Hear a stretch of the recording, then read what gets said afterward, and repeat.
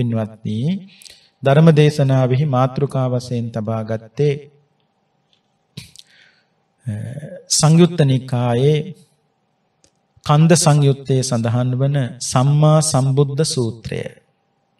සම්මා සම්බුද්ධ සූත්‍රය මේ සූත්‍රයේදී බුදුරජාන් වහන්සේ භික්ෂුන් වහන්සේට මතක් කරනව මහණෙනි තථාගතයන් වහන්සේ අනුප්පන්නස්ස මග්ගස්ස උපාදේතා. ඒ කියන්නේ නූපන් මාර්ගයේ ඉපදෙව්වා. ඒ කියන්නේ වැසී තිබුණු දෙයක් විවෘත කරලා මේ ලෝක සත්වයන්ට අවිද්‍යාව නිසා වැහිලා තිබුණු දෙයක් විද්‍යාවෙන් බුදුහාමුදුරුව අවබෝධ කරගෙන ලෝක සත්වයාට ඒක දේශනා කළා. ඒ වගේම අනක්කාටස්ස මග්ගස්ස අක්කාතා ඒ කියන්නේ දේශනා නොකරපු ධර්මයක් නැත්නම් මාර්ගයක් භාගතුන් වහන්සේ පින්නතුනි මනාව මිනිස්සුන්ට දේශනා කළා. එකම දහමක් අවබෝධ කරගෙන සෑම බුදු කෙනෙක්ම පින්නතුනි කටයුතු කළාට දේශනාවේ කියනවා බුදුරජාන් වහන්සේලාගේ වෙනස්කම් පින්නතුනි 8ක් තියෙනවා. ඒ කියන්නේ සියලු බුදුවරුන්ට එක හා සමාන බෝධිය බවට පත් වෙන්නේ වෙනස්කම් 8ක් තියෙනවා. පළවෙනි එක තමයි ආයු වේමත්තතා. ආයු කියලා කියන්නේ පින්නතුනි ආයුෂ වේමත්තතා කියලා කියන්නේ වෙනස. ඒ කියන්නේ සියලු බුදුරුන්ගේ ආයුෂ එක හා සමාන වෙන්නේ නැහැ වෙනසක් තියෙනවා. දැන් දේශනාවේ කියනවා දීපංකර කොණ්ණඤ්ඤ අනෝමදස්සි පදුම පදුමුත්තර අත්තදස්සි ධම්මදස්සි සිද්ධත්ත තිස්ස කියන මේ බුදුරජාන් වහන්සේලා නම දෙනා වහන්සේ වර්ෂ ලක්ෂයක් ආයුෂ ඇති උත්තමයන් වහන්සේලා බවට පත් වුණා. ඒ කියන්නේ ඒ තරම්කල් ජීවත් වුණා. පින්නතුන් දන්නවා විපස්සී බුදුරජාන් වහන්සේ අවුරුදු 80000ක් කල් මේ ලෝකේ ජීවත් වෙලා පින්වන් පෑවා. ඊට පස්සේ පහළ වුණේ කවුද? සික්කී බුදුරජාන් වහන්සේ අවුරුදු 70000ක් කල් මේ ලෝකේ ජීවත් වෙලා පින්වන් පෑවා. ඊට පස්සේ වෙස්සබු බුදුරජාන් වහන්සේ අවුරුදු 60000ක් කල් මේ ලෝකේ ජීවත් වෙලා පින්වන් පෑවා.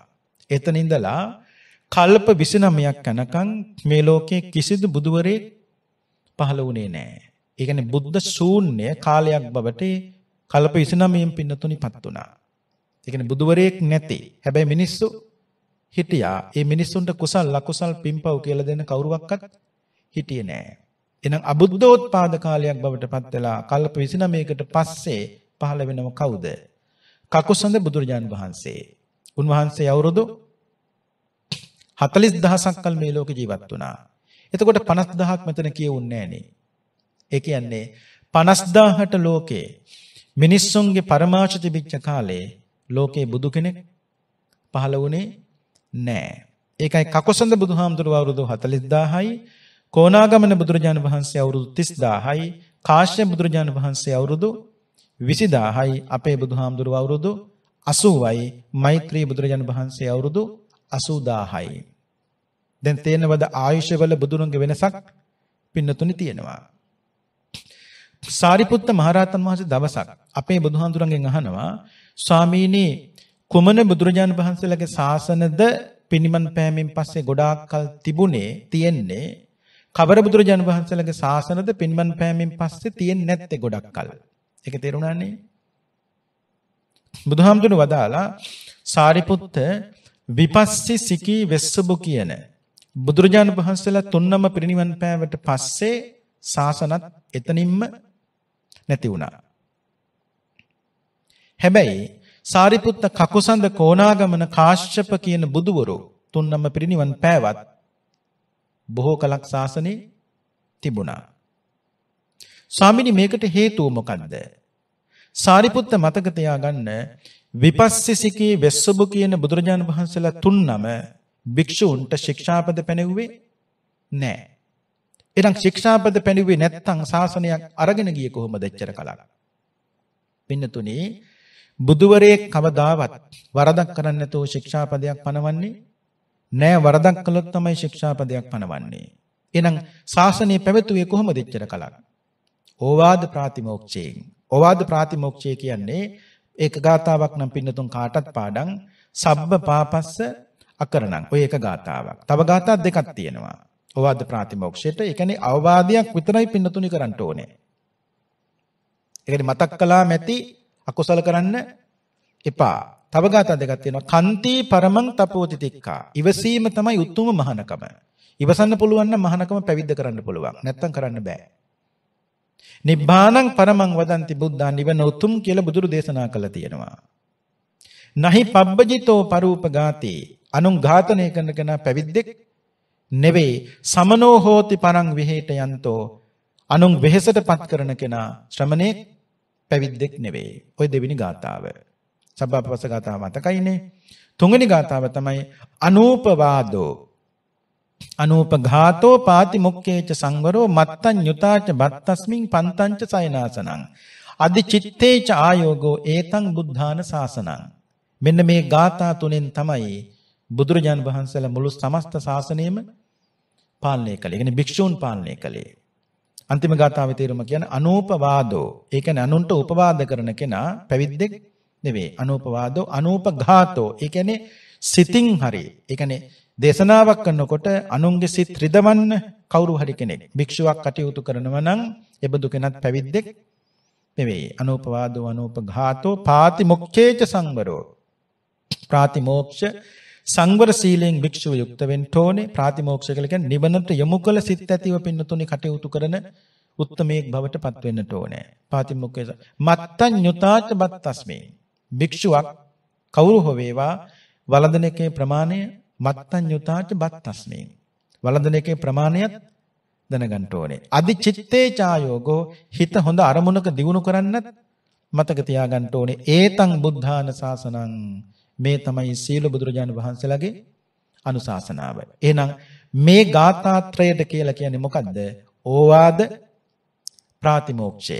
මේ ඕවාද ප්‍රාතිමෝක්ෂයෙන් තමයි විපස්සී සිකී වෙස්සබු කියන බුදුරු තුන්නම මුළු සමස්ත ශාසනයෙන් පාලනය කළා. නමුත් ඒ කාලේ සාරිපුත්ත භික්ෂූන් වැරදි නොකරපු නිසා ශික්ෂාපද පනවන්න සිද්ධ වුණේ නෑ. හැබැයි උණු එකම දේ තමයි මොකද්ද? භාගතුන් වහන්සේලා පිරිනිවන් පෑවට පස්සේ ශ්‍රාවකයන්ට එතනින් පස්සේ ශාසන ඉස්සරහට ගෙනියන ශික්ෂාපද නැත නිසා භික්ෂුන් වහන්සේලා කරපු දේ තමයි Tamanට ඕන හැටියට වැඩ කරලා ඉක්මනටම ශාසනේ නැති කළා. අතුරුදහන් කළා අතුරුදහන් වුණා.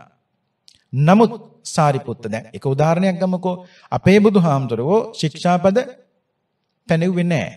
කොච්චර කලක්ද? බුදු වෙලත් අවුරුදු 20ක් යනකම්. බුදු වෙලත් අවුරුදු 20ක් යනකම් අපේ බුදුහාමුදුරුවෝ මුළු සමස්ත භික්ෂූන් වහන්සේලා පාලනය කළේ මොකෙන්ද? අර මුලින් කියපු ඒ ગાථා තුනේ. හැබැයි පස්සේ පස්සේ මහාන වෙන පිරිස වැඩි වුණා, වැරදි කරන පිරිස වැඩි වුණා, ශික්ෂාපද පනවන්න සිද්ධ වුණා. අපේ බුදුහාමුදුරුවෝ පින්නිමන් පාලා පින්නතුන්ට මතකද? දේහේ දවලා අලු ටිකේ රස්නේ යන්නත් කලින් සුබද්‍ර කියන භික්ෂුව කිව්වා දැන් බුදුහාමුදුරුවෝ නෑ. අපිට ඕන හැටියට වැඩම වැඩ කර වැඩ කරම කිව්වා. මේක ඇහුණ කාටද? මහා කාශ්‍යප මහරත් උන්වහන්සේ කල්පනා කළා දෙයනේ අලු ටිකේ රස්නේ යන්නත් කලින් තාම චිතකේ දැවෙනවා. ඒ කියන්නේ අලු රස්නේ යනවා තාම. දුම නගිනවා. භාගතුන් වහන්සේගේ දේහයේ දවලා එබඳු වෙලාවක මෙබඳු කතාවක් කියන එක ඇහෙන එක සුදුසු නෑ. දැන් භාගතුන් වහන්සේ දේශනා කරපු ධර්මයේ තියෙන තැන් තැන්වල හරියට මේ මල් ආසනේ නිකන් මේ ආසනේ පින්නතුනේ එක එක මල මල වෙන වෙනම තියලා තියෙනකොට හුලඟක් ආවොත් ඒ මල් ඔක්කොම ගහගෙන යනවා. දැන් බුදුහාමුදුරු දේශනා කරපු සූත්‍ර තාමත් තියෙන්නේ තැන් තැන් වල. ඒ සංගානාව කලේ නෑනේ. තැන් තැන් වල තියෙන්නේ. බුද්ධ මතයට වඩා වෙන මතයක් ඉස්සරහට ආවොත් වෙන එකම දේ තමයි අර සූත්‍ර ඔක්කොම ගහගෙන යන්න පුළුවන්. හරියට කොයි වගේද? මල් ආසනයක මල් වෙන වෙනම තියලා තියෙනකොට හුලඟක් ආවොත් ඔක්කොම ගහගෙන යනවා වගේ. මහාකාශ්‍යපවරු කල්පනා කළා දැන් කරන්න ඕනේ මල්ලාසනේ වෙන වෙනම තියෙන මල් එකතු කරලා හදන්න ඕනේ මොකද්ද? මල් මාලාවක්. ඒ මල් ටික එකතු කරලා මල් මාලාවක් අංගේ හදලා මේ මේසේ උඩ තිබ්බට හුලඟක් ආවට ලේසියෙන් ඇයි ඔක්කොම එකතු වෙලානේ. ඒ වගේ උන්වහන්සේ කල්පනා කළේ දැන් තැන් තැන් වල තියෙන සූත්‍ර ඔක්කොම එකතැනකට එකතු කරලා අපි සංගායනාවක් කරන්න ඕනේ. එහෙම කළොත් ධර්මයේ රකින්න පුළුවන්. එහෙම නැත්නම් ධර්ම ඉක්මනටම නැති වෙන්න පුළුවන්. එස මතක තියාගන්න ශික්ෂාපද පනෝපු නිසයි බුදුහාඳුරු පින්නිවන් පාලත් අවුරුදු 2500 ගාණක් ගිහිල්ලත් පින්නතුනේ තාමත් ශාසනය පවතින්නේ ශික්ෂාපද පනූප නිසා. දැන් තේරුම් ගන්න පින්වත්නි දීර්ඝායුෂ භුක්ති විඳලා මේ ලෝකේ යම්කිසි බුදුවරයෙක් පිරිනිවන් පෑවොත් පින්නතුන් කවුරුත් දන්නවා ඒ භාගතුන් වහන්සේගේ ධාතුන් වහන්සේලා ඒක ඝන බවට පත් වෙනවා. අඩුවායුෂෙන් යම්කිසි බුදුවරයෙක් පිරිනිවන් පෑවොත් ඒ බුදුහාමුදුරන්ගේ ධාතුන් වහන්සේලා තැන් තැන් වලට විසිරෙනවා. ඒක බුද්ධ අදිෂ්ඨානයක්. දැන් අපේ බුදුහාමුදුරුවෝ අදිෂ්ඨාන කළා මිනිස්සුන්ට බුදු කෙනෙක් හැටියට මාව දකින්න පුළුවන්කම ලැබුණේ අවුරුදු 45යි. ඒ නිසා මග පිරිනිවන් පෑවට පස්සේ මගේ ධාතුන් වහන්සේලා ඒක ඝන බවටපත් නොවේවා තැන් තැන් වලට විසිරියේවා. ඒ නිසා තමයි සෝමාවතියක්, අබේගරියක්, ජේතවනයක්, දලදා මාලිගාවක්, රුවන්වැලි සෑයක් මේ සියල්ලක් ඉදි කරන්න පුළුවන්කම ලැබුණේ. හැබැයි විපස්සී බුදුහාමුදුරුවෝ අදිෂ්ඨාන කළා උන්වහන්සේ අවුරුදු 80000ක් කල් මේ ලෝකේ ජීවත් වුණා. උන්වහන්සේ අදිෂ්ඨාන කළා මොකද්ද? මිනිස්සුන්ට බුදු කෙනෙක් හැටියට සෑහෙන කාලයක් මාව දකින්න පුළුවන්කම ලැබුණා. ඒ නිසා මම පිරිනිවන් පෑවට පස්සේ ධාතුන් වහන්සේලා විසිරී නොඒවා. ඒක ඝන බවට පත් වේවා. එදාට හදන්න පුළුවන් එකම එක චෛත්‍යයක්. ඉතින් මේ තමයි පින්නතුනි ආයු වේමත්තතා ආයුෂ වෙනස. දෙවෙනි කාරණාව කියනවා පමාන වේමත්තතා. පමාන වේමත්තතා කියලා කියන්නේ සියලු බුදුරජාණන් වහන්සේලා එක හා සමාන උස් වෙන්නේ නැහැ. දේශනාවේ කියනවා සමහර බුදුරජාණන් වහන්සේලා උසයි සමහර බුදුරජාණන් වහන්සේලා පින්නතුනි මිටි. දීපංකර රේවත බුදුරජාණන් වහන්සේලා දෙනම පින්නතුනි අසූරියන් උසයි. අපේ බුදුහාමුදුරුවෝ අටලොස් රියනක් පින්නතුනි උසයි. මතු පහළ වෙන මෛත්‍රී බුදුරජාණන් වහන්සේ පින්නතුන් දන්නවා 88 රියනක් මෛත්‍රී බුදුරජාණන් වහන්සේගේ උස. ඒ 88 රියනක් උස උත්තමයා මෛත්‍රී බුදුරජාණන් වහන්සේ තමයි මහා කාශ්‍යප මහරහතන් වහන්සේගේ දේහය තමන් වහන්සේගේ අත්ලට තියාගෙන අනාගතයේ පින්නතුනේ උන්වහන්සේගේ දේහය ආදාහනය කරන්නේ. කාගේද? මහා කාශ්‍යප මහරහතන් වහන්සේගේ දේහය ආදාහනය කරන්නේ වෙන කවුරුත් නෙවෙයි. මෛත්‍රී බුදුරජාණන් වහන්සේ. ඒකට අවුරුදු 120කින් තමයි මහා කාශ්‍යප මහරහතන් වහන්සේ පින්වන් පෑවේ. මෛත්‍රී බුදුහාරගේ උස 88 රියනයි. 88 රියනක් උස පුජ්‍යලයකට අත්ල නැත්නම් අල්ල කොච්චර පින්නතුනි විශාලයිද?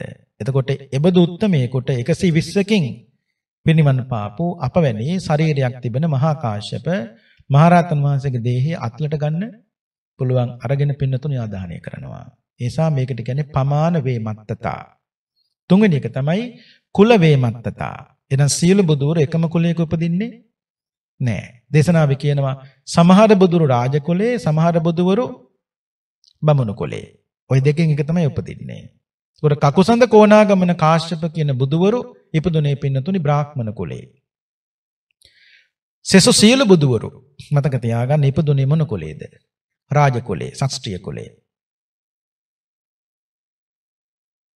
ඒ කුලේ බලන්නේ කොහොමද? පින්නතුන් කවුරුත් දන්නව බෝසත්තුරු මනුස්ස ලෝකෙට එන්න කලින් ඉන්නේ කොහෙද? තුසිත දිවි ලෝකේ. එතකොට මනුස්ස ලෝකේ ඊට කලින් පහළ වෙච්ච බුදුරජාණන් වහන්සේගේ සියලුම ධාතුන් වහන්සේලා අවසන් වුණාට පස්සේ දෙවියන් දිවි ලෝකෙට වැඩ ගිහිල්ලා දෙවි ලෝකෙ ඉඳගෙන බෝසතන් වහන්සේට කියනවා කාලෝ යන්තේ මහාවීර උප්පජ්ජ මාතු කුච්චියන් බෝසතන් වහන්සේ දැන් මෞකුසේ උපදිනට දැන් කාලයයි. අන්න කාලය බලනවා. ඊට පස්සේ දීපේ බලනවා. ඊට පස්සේ දේශේ බලනවා. ඊට පස්සේ බලනවා මෙන්න මේක. මොකද්ද? කුලේ බලනවා. ඒ කුලේ බලනකොට බෝසතාණන් වහන්සේ දිවි ලෝක ඉඳගෙන මොකද්ද තේරෙන්නේ? රජවරු බමුණන්ට වදිනව නම් එහෙනම් එදාට බමුණු කුලේ තමයි උසස් කුලේ. බමුණන් රජවරුන්ට වදිනව නම් රාජ කුලේ තමයි උසස් කුලේ. දැන් අපේ බෝසතාණන් වහන්සේ manuss ලෝක දිහා බලනකොට පින්නතුනේ බමුණු වදිනව කාටද? රජවරුන්ට. එහෙනම් උසස් කුලේ මොකද්ද? රාජ කුලේ. මම උපදින්න ඕනේ රාජ කුලේ. එදාට තියෙන උසස්සේ සම්මත කුලේ ඒක බ්‍රාහ්මණ කුලේ වෙන්න පුළුවන්. ඒක රාජ කුලේ වෙන්න පුළුවන්. ඔය කුලේ දෙකෙන් එකක තමයි උපදින්නේ. එදාට තියෙන උසස් කුලේ මොකක්ද? ඒකේ උපදිනවා. ඒ උසස් කුලේ උපදින්නේ. උසස් කුලයක ඉපදෙන්නේ වෙන මොකක් නිසා නෙවෙයි. උසස් කුලයක ඉපදිලා රාජ සම්පත් අතහැරලා ගිහිල්ලා බුද්ධත්වයට පත් වුණොත් තමයි මිනිස්සු බුදුහාමුදුරු ගණන් ගන්නේ. දුප්පත් කුලයක ඉපදලා බුදු වෙන්න ගියාට කවුරුත් ගණන් ගන්න එදාට කියන්නේ මොකක්වත් නැති නිසා බුදු වෙන්න ගියයි කියලා. තියෙන පවුලකින් ගිහිල්ලා බුදු වෙන්න ගියාම එදාට කියනවා එච්චර සම්පත්තියක් දාලා රාජ සම්පත්තියකුත් දාලා බුදු වෙන්න යන්න පුළුවන් වුණා නම් අනිත්‍යත්ව කල්පනා කරනවා. ඇයි අපිට බැරි? එතකොට තියෙන මිනිහත් බුදුහාඳුරු ගාවට යනවා. නැති මිනිස්සයත් බුදුහාඳුරු ගාවට යනවා. නැති තැනකින් ගිහිල්ලා බුදු වුණත් එතකොට තියෙන නැත්ත බුදුහාඳුරු ගාවට යන්නේ නෑ. ඇත්තෝ හිතනවා අපිට තියෙනව නැති අය තමයි බුදු වෙන්නේ. ඔන්න කුලේ බලන හැටි. කුල වේමත්තතා කිව්වේ මේකට. ඊට පස්සේ ඔය තුන්වෙනි කා හතරවෙනි කාරණාව කියන පධාන වේමත්තතා. පධාන කියලා කියන්නේ පින්නතුනි වීරිය. ඒ කියන්නේ සියලු බුදුවරු වීර කිරීමෙත් වෙනසක් තියෙනවා. දැන් පින්නතුන් දන්නවා මංගල සුමේද සිකී කියන බුදුරජාණන් වහන්සේලා මාස 8ක් දුෂ්කර ක්‍රියාව කළා. ඒකේ වීරිය මාස 8ක් දුෂ්කර ක්‍රියා කළා බුදුවනේ. අපේ බුදුහාමුදුරුවෝ අවුරුදු 6ක් වෙනසක් තියෙනවද එතකොට? තියෙනවා. මෛත්‍රී බෝසත්ත්වය සතියයි. සතිය දුෂ්කර ක්‍රියා කරන්නේ. නාගහමුල බුද්ධත්වයට පත් වෙලා පින්නතුනි සතියක් ඇතුළත සකල ක්ලේශයන් ප්‍රහාණය කරලා මෛත්‍රී බෝසත්වයේ බුද්ධත්වයට පත් වෙනවා. සතියයි. එතකොට සතියයි අපේ බුදුහාරු අවුරුදු 6යි. එහෙනම් මතක තියාගන්න ප්‍රධාන වේමත්තතා කියලා කියන්නේ ඕකටයි. ඊළඟට පස්වෙනි කාරණාව කියනවා පින්නතුනි මේ රශ්මි වෙනස. රශ්මි වෙනස කියලා කියන්නේ දැන් බුදුරජාණන් වහන්සේගේ පින්නතුනි බුද්ධ රශ්මි මාලාව සීල බුදුරුන්ට එක හා සමානව පින්නතුනි බුද්ධ රශ්මි මාලාව පතුරවන්නට බෑ. පින්නතුන් කවුරුත් දන්නවා මංගල බුදුරජාණන් වහන්සේගේ රශ්මිය පින්නතුනි දස දහසක් සක්කල උන්වහන්සේට පතුරවන්න පුළුවන්. අපේ බුදුරජාණන් වහන්සේට හාත්පස බඹයයි. ඒ කියන්නේ මේ අත් දෙක දෙපැත්තට විහිදුවට පස්සේ බඹයක් නේ. අත් දෙක දෙපැත්තට විහිදුවට පස්සේ බඹයක්. එතකොට අන්න එබඳු ප්‍රමාණයට විතරයි අපේ ගෞතම බුදුරජාණන් වහන්සේට බුද්ධ රශ්මි මාලාව. එහෙම නැත්නම් ඒ රශ්මිය පින්නතුනි දක්වන්නට පුළුවන්කම තියෙන්නේ. පින්නතුන්ට මතකයි අපේ භාගතුන් වහන්සේ නැත්තම් බුදු කෙනෙකුටම උරුම ධර්මතාවයේ නැත්තම් ධර්මතාවය කියන්නේ ඒක තමයි යමක මහා ප්‍රාතිහාරය.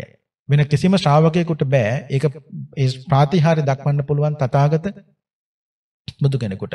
යමක මහා ප්‍රාතිහාරය කියන්නේ යමක කියන්නේ දෙකක්නේ. ඒ කියන්නේ එකවර සමාපatti දෙකකට පින්නතුනේ සමවදින්න පුළුවන්.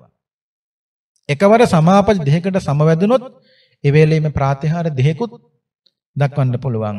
ඒ තමයි පින්නතුනි ගිනි කඳත් ජල කඳත් අන්ධකාරයත් ආලෝකයත් දෙකම එකවර දක්වන්න පුළුවන්. ඒක ශ්‍රාවකයන්ට බෑ. ඒක පින්නතුනි තථාගත බුදුරජාන් වහන්සේ නමකටමයි. ඊළඟට හයවෙනි කාරණාව කියනවා යානා වෙනස. යානා වෙනස කියලා කියන්නේ සියලු බුදුවරු නික්මෙන්නේ එකම යානයකින් නෙවෙයි. දැන් දේශනාවේ කියන සමහර බුදුවරු ඇත්තාගේ පිට උඩ නැගලා ගිහි ගෙයින් නික්මෙනවා. නාරද බුදුරජාන් වහන්සේ පින්නතුනේ කිසිම සතෙක් භාවිතා නොකොට උන්වහන්සේ Tamanගේ පා ගමනින්ම තමයි මාලිගාවෙන් නික්මුනේ. නාරද බුදුරජාන් වහන්සේ. මංගල සුජාත අත්තදස්ති තිස්ස ගෞතම කියන බුදුරජාන් වහන්සේලා අශ්ව යානෙන් තමයි මේ ලෝකෙන් ඒ කියන්නේ ගිහි ගෙයින් නික්මුනේ. ඒක පින්නතුන්ට මතකයිනේ. ඒවා ඒක අර ඒවා පින්නතුනි සහජාත වස්තු තියෙනවා. සහජාත වස්තු කියලා කියන්නේ බුදුන් උපන් දවසේම උපදින වස්තු. යශෝදරාව, කන්තක, අස්වැය, චන්න, එමතියා, ශ්‍රී මහා බෝධිය, ඒ වගේම ආනන්ද හාමුදුරුවෝ. මේ වගේ පින්නතුනි කීපයක්ම තියෙනවා. මේ ගත්තාම බෝධි අංකුරය පැන නගින්නේ කියන්නේ මේ බුද්ධ ගයාවෙන් නැත්නම් වජ්‍රාසනයෙන් බෝධි අංකුරේ පැන නගින්නේ කවදාද? සිද්ධාර්ථ කුමාරයා උපන් දවසේමයි. එහෙනම් බුදු වෙන්නට බෝධි මූලයට යනකොට බෝධින් වහන්සේටත් නැත්නම් ශ්‍රීමා බෝධියටත් අවුරුදු 35ක් පින්නතුනි වයසයි. ඇයි? සිද්ධාර්ථ කුමාරයා උපන් දවසේම තමයි ශ්‍රීමා බෝධිය බෝධි අංකුරේ පින්නතුනි පැන නැග්ගේ. ඊළඟට කියනවා පින්නතුනි හත්වෙනි එක බෝරුක් වෙනස. ඒකට සියලු බුදුරුන්ට එකම ගහ නෙවෙයි පින්නතුනි පුක්ෂේ බවටපත් වෙන්නේ. හැබැයි පොදු නම තමයි බෝධි කියලා කියන්නේ. පියදස්සි බුදුරජාන් වහන්සේ බුද්ධත්වයටපත් වුණේ පින්නතුනි කුඹුක් ගසක් මුල. එදා එදා එදාට කුඹුක් ගහ බෝධි බවටපත් වෙනවා. ඊළඟට විපස්සි බුදුහාමුදුරු පළොල් රුකක් මුල බුද්ධත්වයටපත් වුණා. වෙස්සබු බුදුරජාන් වහන්සේ සල් ගසක් මුල පින්නතුන් දැකලා තියෙනවනේ අටවිසි බුදුරජාන් වහන්සේලාට ඒ විදියට පින්නතුනි සමහර විහාරස්ථානවලත් ඒ ඒ බුදුරජාන් වහන්සේලාට අයිති බෝධීන් වහන්සේලා. යම් පමණකට ඔහ පින්නතුනි බොහොම අමාරුවෙන් සොයාගෙන ඒ වෘක්ෂ පින්නතුනි තන්පත්ව තියලා තියෙනවා. ඒක හරි වටිනවා.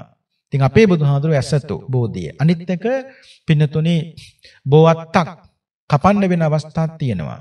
හැබැයි ඒව ලේසියෙන් එහෙම කපන්න බෑ. ඒවයි නියමයක් තියෙනවා. අටුවාවේ පින්නතුනි සඳහන් වෙනවා. දැන් අපි හිතමුකෝ බෝධින් වහන්සේ නමක් යට බුද්ධ ප්‍රතිමාවක් තියෙනවා. මිනිසුන්ට වන්දනා කරන්න, ශාස්ත්‍රූ ගෞරවය ඇති කරගන්න. ඒ බෝධින් මේ මේ ඒ බුද්ධ රූපේ නැත්තම් බුදු පිළිමේ මේ මේ උඩට බෝවත්තක් පාත් වෙලා තියෙනවා. දැන් මේ බෝවත්තේ කුරුල්ල වහනවා. කපුට වහනවා, මුං වසුරු හෙලනවා. ඒ කියන්නේ ජරාව කරනවා. ඔක්කොම වැටෙන්නේ කොතෙන්ද? බුදු පිළිමෙට. දැන් කරන්න ඕනේ බෝවත්ත කපන එකද නැත්නම් බුද්ධ ප්‍රතිමාව සුදුස්තනකට වඩම්මන එකද? බෝවත්ත කපන්න බෝවත්ත කපන්න බෑ. ඒ වෙලාවට කරන්න ඕනේ බුද්ධ ප්‍රතිමාව සුදුස්තනකට වඩම්මන එකයි. කපන්න පුළුවන්. මෙහෙම වුණොත්. කොහොමද? දේශනාවේ කියනවා සමහර බුද්ධ ප්‍රතිමා නිර්මාණය කරනම බුදුහාඳුරන්ගේ ශාරීරික ධාතුන් වහන්සේලා තැන්පත් කරලා. සමහර බුද්ධ ප්‍රතිමා තියෙන මිනිස්සුන්ගේ වන්දනාවට විතරක් පාත්‍ර වෙච්ච. හැබැයි සමහර බුද්ධ ප්‍රතිමා නිර්මාණය කරන්නේ ශාරීරික ධාතුන් වහන්සේ නමක් හෝ තැන්පත් කරලා බුදු පිළිමයක් හදනවා. ඒ බුද්ධ ප්‍රතිමාව තැන්පත් කරන බෝධින් වහන්සේට. ඒ බුද්ධ ප්‍රතිමාවට දැන් බෝවත්තක් පාත් වෙලා අර අත්ත උඩ පින්නතුනි කුරුල්ල වහලා වසුරු හෙලනවා ජරා කරන ඔක්කොම වැටෙන්නේ අර බුදු පිළිමෙට. දැන් කරන්න ඕනේ බෝවත්ත කපන එකද එහෙම නැත්නම් බුදු ප්‍රතිමා බුද්ධ ප්‍රතිමාව සුදුස්තනකට වඩම්මන එකද. දැන් බෝවත්ත කපන්න පුළුවන්. ඇයි? බෝධින් වහන්සේ පින්නතුනි පාරිභෝගිකයි. නමුත් බුද්ධ ප්‍රතිමාව ඇතුළේ තියෙන්නේ ශාරීරික ධාතුන් වහන්සේලාය. ඒ නිසා මතක තියාගන්න ඕනේ පාරිභෝගික වස්තුවට වඩා ශ්‍රීමා බෝධිය පාරිභෝගිකයිනේ. පින්නතුන් අහලා උද්දේශික පාරිභෝගික ශාරීරික. ශාරීරික පාරිභෝගික උද්දේශ. ඒකට ශ්‍රීමා බෝධිය බුදුහාඳුරු පරිභෝග කළා. ඒක පාරිභෝගික වස්තුවක් නේ. ඒ නිසා පාරිභෝගික දෙයට වඩා වටින්නේ මොකද්ද? ශාරීරිකේ උත්තරීතර වෙනවා. ශාරීරිකේ උත්තරීතර වෙන නිසා එදාවට කරන්න ඕනේ බුද්ධ ප්‍රතිමා වහක් කරන එක අයින් කරන එක නෙවෙයි පින්නතුනේ තනකට වඩම්මන එක නෙවෙයි බොවත්ත කපන්න පුළුවන්. ඇයි? අර මුලින් කිව්වාගේ මතක තියාගන්න ශාරීරිකයේ උතුම් වෙනවා පාරිභෝගික වස්තුවට වඩා. දැන් අපි හිතමුකෝ බෝධීන් වහන්සේ වටා බෝධි ඝරයක් තියෙනවනේ. ඔයයන්ට සුවසේ වඳින්න බෝධි ඝර. ඒතර බෝධි ඝරයේ උඩට පින්නතුනි බෝවත්තක් පාත් වෙලා තියෙනවා. දැන් බෝවත්ත කපනවද නැත්නම් බෝධි ඝරය ඒකට බාධාවක් නම් ඉවත් කරනවද මොකද්ද කරන්න ඕනේ? දේශනාවේ කියන පින්නතුනි ඒ වෙලාවට නම් කොහෙත්ම කිසිසේත්ම බෝවත්ත කපන්න බෑ බෝධි ඝරයට බාධා වුණා කියලා. ඇයි දේශනාවේ කියනවා බෝධීන් වහන්සේ නිසා බෝධි ඝරය ඉදි වුණා මිසක බෝධි ඝරය නිසා බෝධින් වහන්සේ ඉදි වුණා ඉදි වුණා නෙවෙයි. ඒලාට කොහෙත්ම බෑ. මේ අනවශ්‍ය කරුණක් මතක් කළා කියලා හිතන්න එපා. මේ දැනගන්න පින්නතුනි මතක් කළේ. නිසා මේ බෝධනාගේ යහපත වෙන්නේ ශාස්ත්‍රීය ගෞරවය ඇති කරගන්නට. ඊළඟට කියනවා පින්නතුනි අන්තිම එක මේ අටවෙනි එක පර්යංක වෙනස. පර්යංක වෙනස කියලා කියන්නේ සිකී බුදුරජාන් වහන්සේට 32ක් පර්යංකයේ බවට පින්නතුනිපත් වුණා. ඒ වගේම කොණාගම බුදුරජාන් වහන්සේට විසිරියනක් පර්යංකයේ බවට පත් වුණා. අපේ ගෞතම බුදුහාමුදුරුවෝ තුදුස්රියනක්. තුදුසක් කියලා කියන්නේ 13ක් පින්නතුනි පර්යංකයේ බවට පත් වුණා. අනිත් එක සෑම බෝසත්වරයෙකුටම පින්නතුනි බෝධිය මූලයට වඩින්න කලින් හම්බෙනව මොකද්ද? කුසතන මිටි 8ක්. දැන් අපේ බුදුහාමර කුස්තන දුන්නේ කවුද? සොත්තිය බ්‍රාහ්මණයා. බෝධි මූලයට වඩින්න කලින්. ඒ කුස්තන මිටි 8 අරගෙන ගිහිල්ලා අපේ බුදුහා බෝහතන් වහන්සේ ඇසත බෝරුක මුල පින්නතුනි බටහිරට මුහුණලා කුස්තන මිට 8 එළුවා. මහ පොළව කම්පා වුණා. දකුණු දිශාවට මේ හැරිලා පින්නතුනි කුස්තන මිට 8 එළුවා මහ පොළව කම්පා වුණා. බටහිර දිශාවට එළුවා මහ පොළොව කම්පා වුණා. නැගෙනහිර දිශාවට කොස්තන මිටාට එළුවා මහ පොළොව කම්පා වුණේ නෑ. ඒකෙන් දැනගත්ත මොකද්ද? එහෙනම් සියලු බුදුවරු මේ ලෝකේ බුද්ධත්වයටපත් උනේ නැගෙනහිරට නැගෙනහිරට මූණලා. මේක ලස්සන දේශනාවක් පින්නතුනි. මේ සෑම කරුණකින්ම ඇති කරගන්න ඕනේ වෙන කිසිවක් නෙවෙයි සාස්ත්‍රු ගෞරවය ඇති කරගන්න. සාස්ත්‍රු ගෞරවය ඇති වූ තැන මතක තියාගන්න අනිත් සෑම දෙයක්ම රැකෙනවා. සෑම දෙයක්ම කියන්නේ ධර්මයක් රැකෙනවා, සංඝයත් පින්නතුරු රැකෙනවා. ධර්මයේ ජීවත් කරවන්න පුළුවන් අපිට විතරයි. ඒ ජීවත් වෙන්නේ ධර්මයේ අපි ධර්මයේ පිළිපැද්දොත් විතරයි. ධර්මයෙන් ඈත් වෙන්න ඈත් වෙන්න මතක තියාගන්න ඕනේ ධර්මයක් නැති වෙනවා. එහෙනම් ධර්මයේ ජීවත් කරවන්න පුළුවන් කාටද? අපිටයි ප්‍රතිපත්තිය තුල පිහිටා ධර්මයේ තුල පිහිටා කටයුතු කරනකොට මතක තියාගන්න අර පැත්තෙන් ධර්මයක් ජීවත් වෙනව පින්නතුනි. ධර්මයේ නැති කරන්නත් ඇති කරන්නත් පුළුවන්කම තියෙන්නේ පින්නතුනි අපිටයි. ඒස ජීවිතයේ දුර්වලතාවයේ මතුවෙන්නේ යම් තැනකද එතෙන්ට වෙන කිසිවක් ගේන්න එපා. ධර්මයේ විතරක් පින්නතුනි ගේන්න. එදාට රැකවරණේ සැලසෙනවා. මේ සියල්ලට කලින් ඇති කරගන්න ඕනේ පින්නතුනි ශාස්ත්‍රීය ගෞරවය. බුදුහාමුදුරුව ගැන මනාව දැනගත්තු කිසිම කෙනෙක් පින්නතුනි කවදාවත් භාගතුන් වහන්සේ වදාලා සම්මා දිට්ඨියෙන් තොරව කටයුතු කරන්නේ නැහැ. සම්මා දිට්ඨියට එන්න කාරණා දෙකක් තියෙනවා. එකක් තමයි පරතෝ ගෝසප්‍රත්‍ය. පරතෝ ගෝසප්‍රත්‍ය කියලා කියන්නේ අනුන්ගෙන් ධර්මයේ අසා දැනගෙන සම්මා දිට්ඨියට එන්න පුළුවන්. දෙක යෝනිසෝ මනසිකාරයෙන් සම්මා දිට්ඨියට එන්න පුළුවන්. තම සම්මා දිට්ඨියට පුළුවන් මාවක් තියෙනවා. මේ කරුණු දෙකක් මතක් කළේ. එතකොට සාරිපුත්ත මහරහතන් වහන්සේ වැනි උත්තමයෝ පරතෝ ගෝසප්‍රත්‍යනේ. කාගෙන්ද? අස්සජි මහරහතන් වහන්සේගෙන් ධර්මය අසා දැනගෙන සම්මාදිට්ඨියට ආවා. සමහර යෝනිසෝ මනසිකාරයෙන් නෝනින් මෙනෙහි කළ සම්මාදිට්ඨියට එනවා. හරි. මේ මොන ක්‍රමයකින් හරි කමක් නැහැ. සම්මාදිට්ඨියට ආව කියමුකෝ. සම්මාදිට්ඨියට ආවට බෑ. සම්මාදිට්ඨිය කරුණු පහකින් පෝෂණය කරන්න ඕනේ. පළවෙනි එක තමයි සීලෙන් සම්මාදිට්ඨිය පෝෂණය කරන. දේශනාව කියන්නේ සීලානුග්‍රහිතා. සීලෙන් සම්මාදිට්ඨියට අනුග්‍රහ කරන්න ඕනේ. අනුග්‍රහ කියන්නේ පෝෂණය කරන්න ඕනේ. දෙක සුතානුග්‍රහිතා. ධර්ම ශ්‍රවණය කිරීමෙන් සම්මාදිට්ඨිය පෝෂණය කරන්න ඕනේ. තුන සාකච්ඡානුග්‍රහිතා. ධර්ම සාකච්ඡා කිරීමෙන් සම්මාදිට්ඨිය පෝෂණය කරන්න ඕනේ. හතර සමතානුග්‍රහිතා සමත භාවනා කිරීමෙන් සම්මාදිට්ඨිය පෝෂණය කරන්න ඕනේ. පහ විපස්සනානුග්‍රහිතා විදර්ශනා ප්‍රඥා විදර්ශනා භාවනා කිරීමෙන් සම්මාදිට්ඨිය පෝෂණය කරන්න ඕනේ. දැන් මතකයිනේ සම්මාදිට්ඨියට එන්න පුළුවන්. හැබැයි සම්මාදිට්ඨියට ආවට බෑ සම්මාදිට්ඨිය කරුණු පහකින් පෝෂණය කරන්න ඕනේ. මොකද්ද? සීලෙන් සම්මාදිට්ඨිය පෝෂණය කරන්න ඕනේ. බණ ඇසීමෙන් සම්මාදිට්ඨිය පෝෂණය කරන්න ඕනේ ධර්ම සාකච්ඡා කිරීමෙන් සම්මාදිට්ඨිය පෝෂණය කරන්න ඕනේ සමත භාවනා කිරීමෙන් සම්මාදිට්ඨිය පෝෂණය කරන්න ඕනේ විපස්සනාවෙන් සම්මාදිට්ඨිය පෝෂණය කරන්න ඕනේ. එහෙනම් බණක් අහනවා කියන්නේ පෝෂණය වෙන්නේ මොකද්ද? සම්මාදිට්ඨිය. සිල් ගන්නවා කියන්නේ පෝෂණය වෙන්නේ මොකද්ද? සම්මාදිට්ඨිය. ධර්ම සාකච්ඡා කරනවා කියන්නේ පෝෂණය වෙන්නේ මොකක්ද? සම්මාදිට්ඨිය. ඔය ඇත්ත භාවනා කරනවා කියන්නේ පෝෂණය වෙන්නේ මොකද්ද සම්මාදිට්ඨිය. ඉස මතක තියාගන්න. සම්මාදිට්ඨියට ආපු කෙනා සාස්ත්‍රෝ ගෞරවය ඇති කරගෙන ඉදිරියට යන මිසක කවදාවත් එයා මිත්‍යා දෘෂ්ටික මත කරපින්නාගෙන කිසිම දවසක ධර්මයට හානි කරන්න උත්සාහයක් ගන්නේ නෑ. සම්මාදිට්ඨිය තුළ පිහිටපු කෙනා මතක තියාගන්න ජීවත් කරවන්නේ වෙන කිසිවක් නෙවෙයි. ධර්මයෙන්ම තමයි ජීවත් කරවන්නේ. කවදාවත් සම්මාදිට්ඨියෙන් නම් බහැරට පින්නතුණ යන්න එපා. ඒ සම්මාදිට්ඨිය තුල නැත්නම් දෘෂ්ටිය පිරිසුදු කෙනාගේ පින්නතුන් කවුරුත් දන්නවා සංකල්පනා බොහොම යහපත්. සම්මා සම්මා සංකප්පය. සිතිවිලි හොඳයි නම් පින්නතුන් දන්නවා ඒ පුජ්‍යලේ කටින් පිට වෙන වචනත් හොඳයි සම්මා වාචා. ලස්සනයිනේ පින්නතුනි. අරියටගේ මගෙන් තොරව මේ ලෝකේ බුදුහාඳුරු දේශනා කළ නිවන් මඟ හොයන්න බෑ. ඒ මධ්‍යම ප්‍රතිපදාව වෙතනමයි පින්නතුනි. ශරීරයට දැඩි දුක් දීලත් බැරි වුණා, සැප දීලත් බැරි වුණා.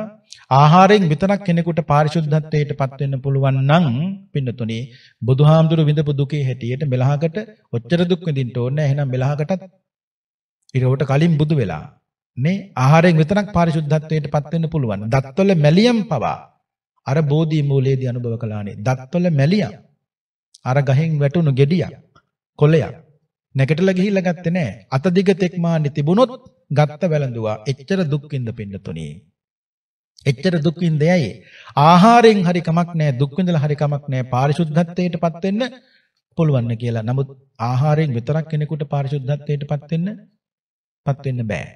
වරදක් දෝෂයක් කියන දැන් අපි හිතමුකෝ මස් මාළු නොකන කෙනෙක් නිර්මාංශයි. එයා ඒකෙන් හිතනම නම් ඒකෙන් විතරක් එයාට නිර්වාණය සාක්ෂාත් කරගන්න පුළුවන් කියලා. ඒක පින්නතුණ යාගේ එක ප්‍රතිපත්තියක් විතරයි. මස් මාළු කන එක මේ මේ නොකන අයට පින්නතුනේ නිර්මාංශය කියන ඇත්ත තේරුම් ගන්න ඕනේ හිතේ තියෙන පිළිගඳ අයින් කරගන්න බැරි වුණොත් ඒ පුජ්‍යලයට ආහාරයෙන් විතරක් පාරිශුද්ධත්වයට කෙනෙකුටපත් වෙන්න බෑ.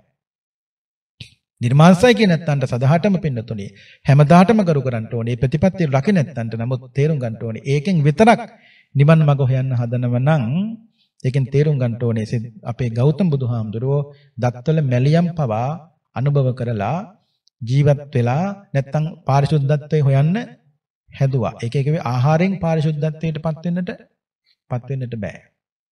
ඊළඟට කියනවා පින්නතුනි සියලු බුදුරජාණන් වහන්සේලා අත් නොහරින ස්ථාන හතරක් මේ ලෝකේ තියෙනවා.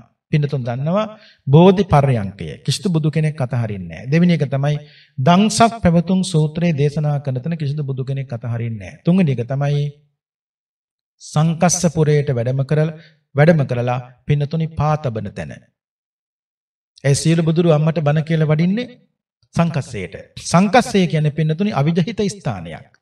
අවිජහිත ස්ථානයක්. අවිජහිත කියලා කියන්නේ කිසිදු බුදු කෙනෙක් අතහරින්නේ නැහැ. එහෙනම් මෛත්‍රී බුදුහාඳුරුත් අම්මාට බණ කියලා වඩින්නේ කොහාටද? සංකස්සයට. අමල සංකස්සයට ගියානේ සංකස්සේ පින්නතුනි පස් ගොඩක්. නමුත් පස් ගොඩක් උනාට උත්තරීතර තැනක් එතන. ඊළඟ අන්තිම එක තමයි ජේතවනාරාමේ ගන්ධ කුටියේ ඇඳෙහි පාස් අතර තබන තැන. කිසිදු බුදු කෙනෙක්ගේ පින්නතුනි වෙනස් වෙන්නේ වෙනස් වෙන්නේ නැහැ. ජේතවනාරාමේ භාගතුන් වහන්සේ සැතපුණු ඇඳේ පාස් අතර තබන තැන කවදාවත් කිසිදු බුදු කෙනෙක්ගේ පින්නතුනි වෙනසක් වෙන්නේ නැහැ. ඊට පස්සේ මතක් කරනවා මහණෙනි සීල බුදුරජාණන් වහන්සේලා උදෙසා අන්තරාවක් කරන්න බැරි අනතුරක් කරන්න බැරි කරුණු හතරක් තියෙනවා. පළවෙනි එක තමයි භාගතුන් වහන්සේ ලැබෙන සිව්පසයට කිසිම කෙනෙකුට මේ ලෝකේ හානි කරන්න බෑ. දෙක භාගතුන් වහන්සේගේ ආයුෂයට බුදුහාඳුරු මරන්න එහෙම කාටවත් බෑ. අතරතුර ජීවිත නැති කරන්න කාටවත් බෑ.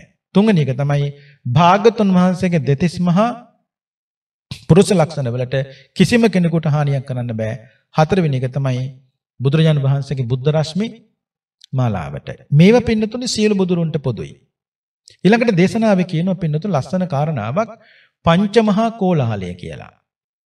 කෝලාහලය කියන්නේ මේ රණ්ඩුවක් සරුවලක් එහෙම නෙවෙයි. ඒ කියන්නේ පංචමහා කෝලාහලය කියලා කියන්නේ මේ ලෝකේ බුදු කෙනෙක් උපදින්නට සක්විත රජෙක් උපදින්නට පෙර ආතුව දෙවියන් විසින් මිනිස්සුන්ට කරන දැනුම් දැනුම් දීමක්. ඒ දේශනාවේ කියනවා පළවෙනි එක තමයි කල්ප කෝලාහලය. විස්තර කළ දෙනවා. දෙවෙනි එක තමයි චක්කවර්ති කෝලාහලය.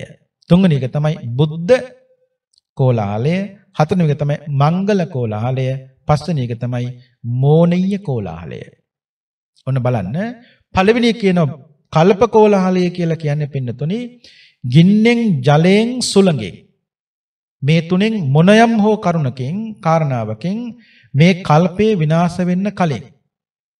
අවුරුදු ලක්ෂයක් තියෙද්දී දේවතාවෙක් රතු වස්ත්‍ර ඇඳගෙන ඇවිල්ලා මිනිස්සුන්ට කියනවා ජනේනි. මිනිසුනේ කල්ප විනාශය යන්නේ ඒ නිසා ඉක්මනට පින් කරන්න කුසල කරන්න අම්ම තාත්තට සලකන්න. එදාට මිනිස්සු මේ දේශනාව කියනවා අහෝ දුක්ඛං අහෝ දුක්ඛං අනේ දුකයි අනේ දුකයි අනේ දුකයි කල්පය විනාශ වෙන්නයි හදන්නේ කියලා මිනිස්සු පින්නතුනි මහත්සේ කෝලහලයක් කරනවා. මේකට කියන්නේ මොකක් කියලාද?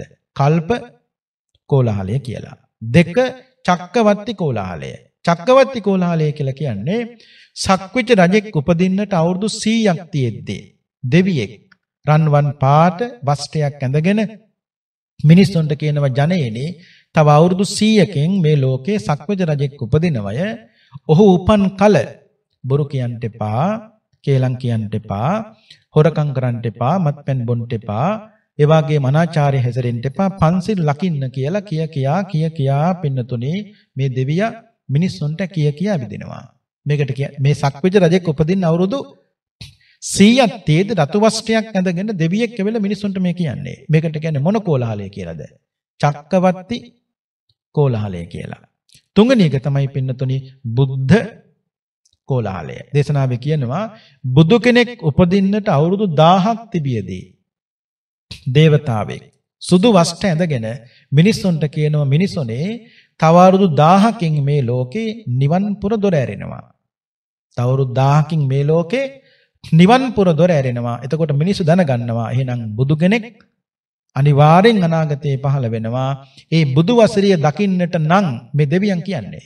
මිනිසුනේ නුඹලට බුදු වසරිය බලන්න ඕන නම් පංචානන්තරීය පාප කර්ම කරන්න කරන්න කරන්න එපා. පින්නතුන් කවුරුත් දන්නවා අපේ භාගතුන් වහන්සේගේ සියලුම ධාතුන් පිරිනිවෙන්නේ බුද්ධ ගයාවේදී. එදාට අවුරුදු 5000 සීමාව ලං වෙනකොට භාගතුන් වහන්සේගේ ඌර රෝම ධාතුව තිබූ තැන්නිම පීඨන මකු ධාතුව තිබුණු තැන්නිම සතර දලදා වහන්සේ තිබූ තැන්නිම නිර්මිත බුදුරුවක් අනාගතේ දකින්න පුළුවන් කොතනින්ද? බුද්ධ ගයා එදාට බුද්ධ රශ්මි මාලාවක් මේ ලෝකෙ විහිදෙනවා. ඒ බුද්ධ රශ්මි මාලාව බලන්න ඉන්දියාවට ගොඩාක් දෙනෙක් යනවා. හැබැයි පින්නතුනේ පංචානන්ත්‍රී පාප කර්ම කරපු ඇත්තන්ට නම් බුදු පිළිම කඩපු ඇත්තන්ට නම් බුදු පිළිම හාරා ධාතුන් වහන්සේලා ගත්තු ඇත්තන්ට නම් කිසිම දවසක ඒ බුද්ධ රශ්මි මාලාව බලන්න ගියාට දකින්න නම් හම්බෙන්නේ නැහැ. ඊළඟට හතරවෙනි එක තමයි පින්නතුනි මංගල කෝලාහලය.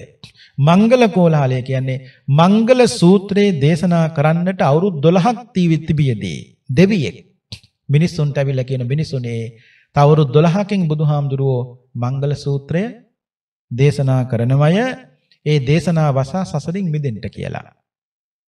මංගල සූත්‍රයේ දේශනා කරන්න ආරාධනා කළේ කවුද? දෙවියන්.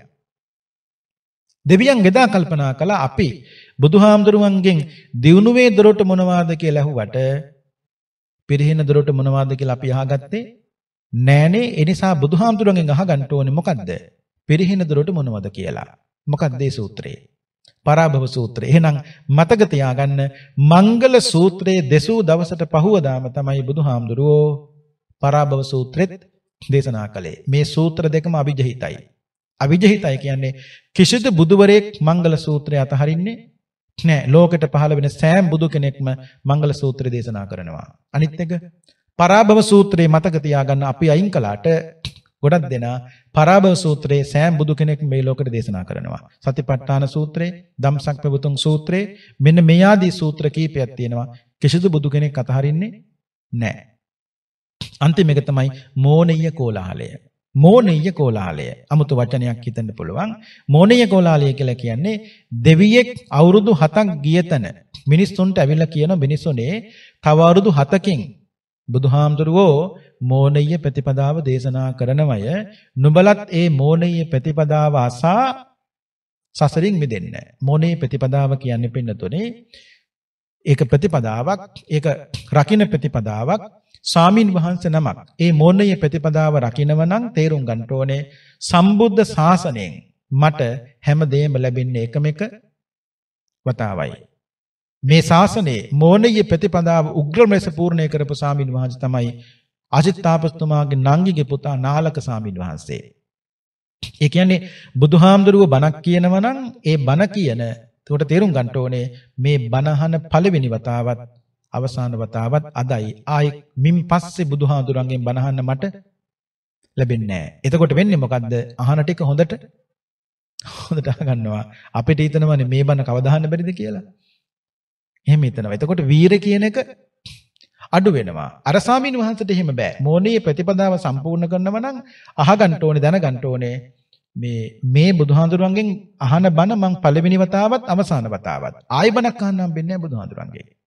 ඊට පස්සේ එක ගහකට භාවනා කළොත් ඒ සාමින් වහන්සේ ඒ ගහයට භාවනා කරන්න පුළුවන් එක දවසක් කවුරුත් එලවන්නේ නැහැ. ගහලා පන්නන්නේ නැහැ. එහෙම නෙවෙයි මේ කියන්නේ. ඒ ප්‍රතිපදාවක් මේක රකින්නවා. අනිත් ගමකට පින්නපාතේ වැඩියා කියමුකෝ. ඒ ගමේ ඉන්නේ එක දවසයි. මිනිස්සු එලවන්නේ නැහැ. නමුත් භික්ෂුව දැනගන්න ඕනේ මොකද්ද? මම සමාදන් වෙලා තියෙන්නේ මෝනෙය්‍ය ප්‍රතිපදාව. මෝනේ ප්‍රතිපදාව නම් මම ඉන්න ඕනේ එක දවසයි. එතකොට මිනිස්සු කවදාවත් ඒ භික්ෂුවක් එක්ක වැඩි ඇයි හොදංගම් පාන්න ඉන්නේ නෑ. මොකද මිනිස්සු දන්නවා මේ භික්ෂුව මෝනේ ප්‍රතිපදාව සමාදන් වෙලා තියෙන්නේ කොච්චර වුණත් බනකටවත් වඩම්ම ගන්න බෑ. මොකද හෙට මේ ගමේ හෙට මේ ගමේ නෑ. භික්ෂුවක් දන්නවා මිනිස්සුත් එක්ක වැඩි අය හොදන් කම්පාවට වැඩක් නැහැ. මොකද මම හෙට මේ ගමේ එතකොට වෙන්නේ මිනිස්සු භික්ෂුව කරේ ඇලෙන්නෙත් නැහැ. භික්ෂුව මිනිස්සු කරේ ඇලෙන්නෙත් නැහැ. ගමන යන්න හරි ලෙසි. ඒ තමයි මෝනීය ප්‍රතිපදාව කියන්නේ. කෙටියෙන් මතක තියාගන්න පින්නතුනේ ඒ ස්වාමීන් වහන්සේට මේ සම්බුද්ධ ශාසනයෙන් හැමදේම ලැබෙන්නේ එකම එක තමයි. දෙවියෙක් මේ කියනවා මොකද්ද?